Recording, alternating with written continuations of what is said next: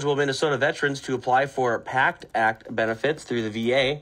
Omar says the law passed two years ago addresses health problems faced by veterans exposed to Agent Orange in Vietnam and burn pits in Iraq and Afghanistan. But she says that less than 10,000 veterans out of more than 100,000 veterans in Minnesota who qualify under this program have enrolled. The 5th District Democrat says she will not stop fighting until every one of her constituents who is eligible receives the care they deserve.